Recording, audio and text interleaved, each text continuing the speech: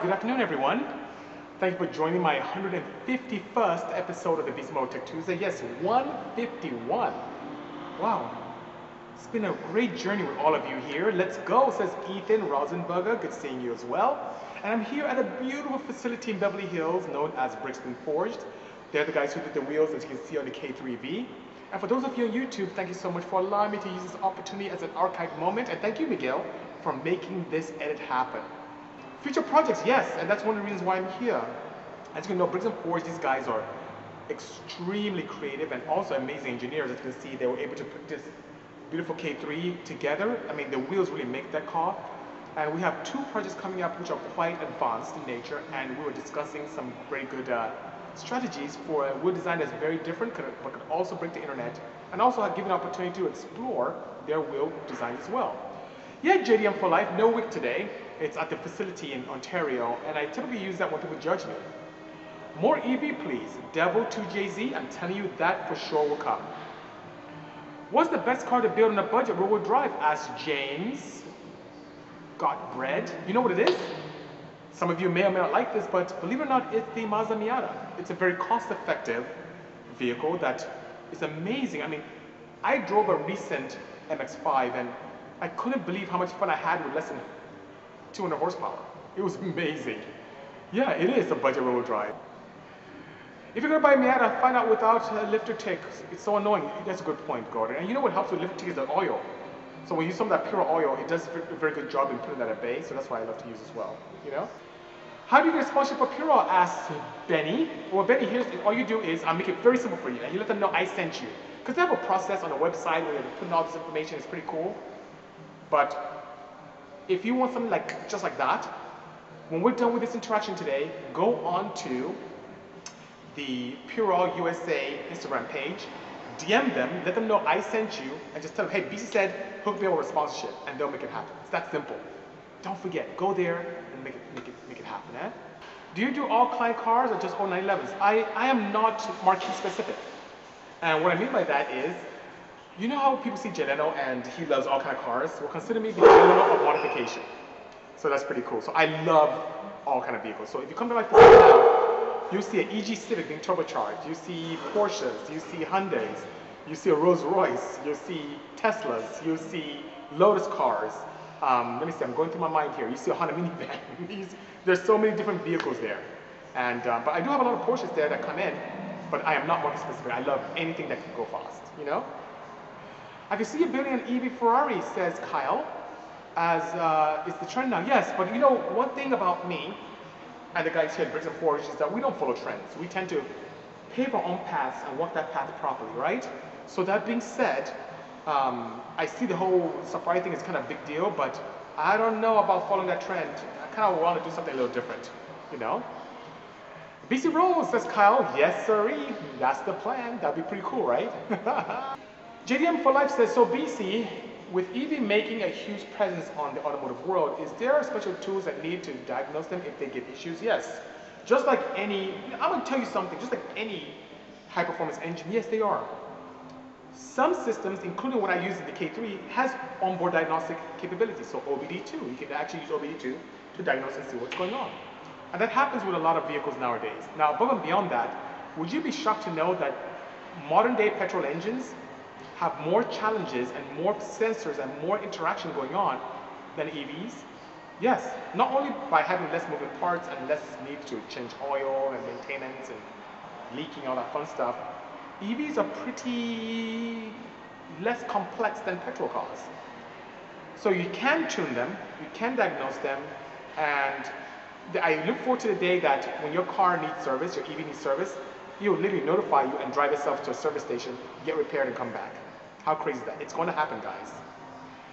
What are your thoughts on electric turbos like Torque Amp? Did you test any of them? Would you like to? So Raw Motorsports, I would like to. I saw Torque Amp.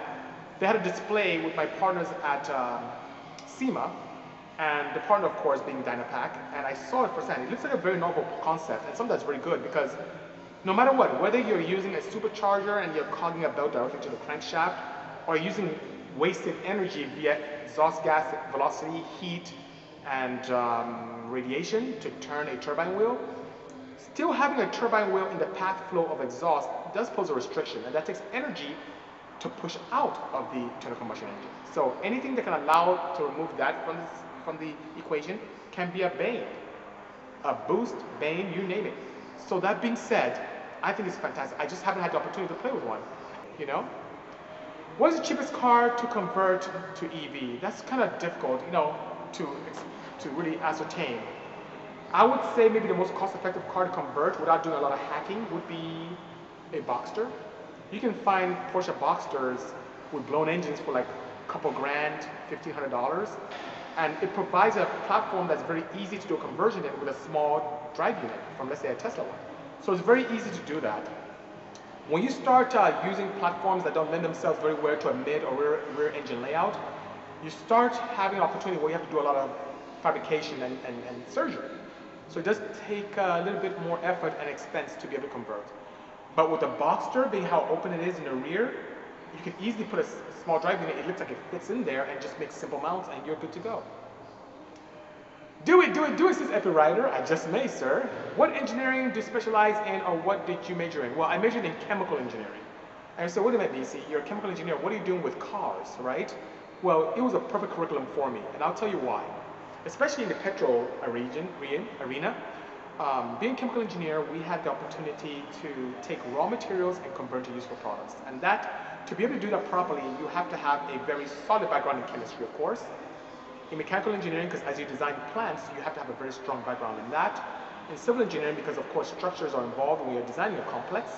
Electrical engineering, because all your processes have to be wired up. Um, it's a very, mathematics of course, physics. It is a very well balanced engineering curriculum because you have to put your hand in different things. Like if you study computer science engineering, you're kind of limited there or EE or ME. But with chemical engineering, you have to touch in all different facets of engineering. So it may be a better engineer when it comes to automotive. Everything from me making my own fuels, to understanding heat and energy conservation, to being able to design components that can allow for efficiency.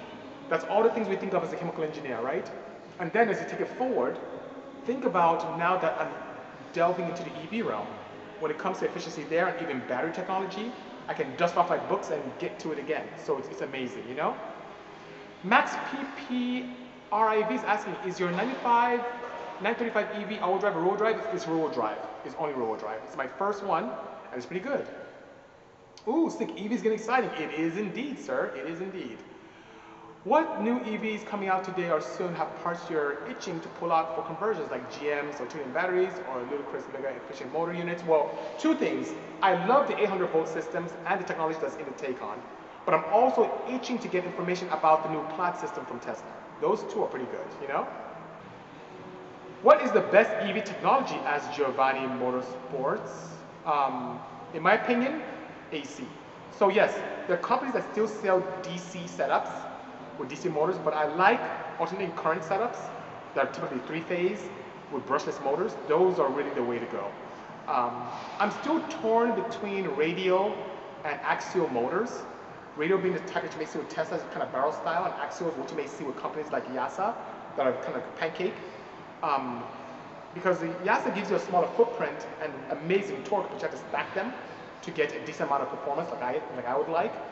While the commercially available um, uh, barrel style, those are quite ubiquitous nowadays. So, but I prefer AC systems.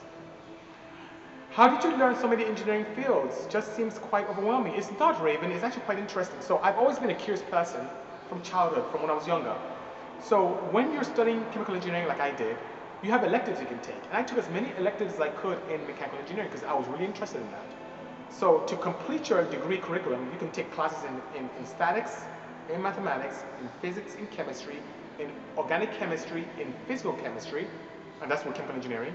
You can take EE as well, which I took. You can take computer programming, which I took.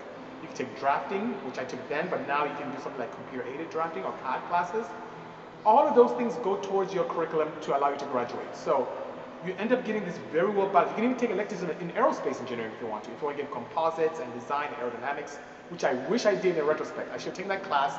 I heard it was an easy A, and I didn't take it. I should have. I hate easy stuff.